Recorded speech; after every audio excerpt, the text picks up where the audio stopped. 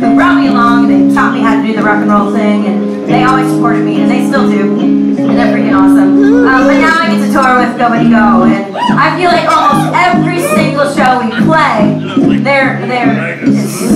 somebody around on the stage that is not a band. And it is so freaking cool, and it's not because it's a girls' band night.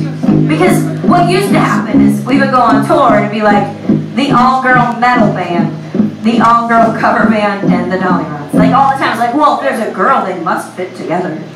Uh, but it was weird, you know?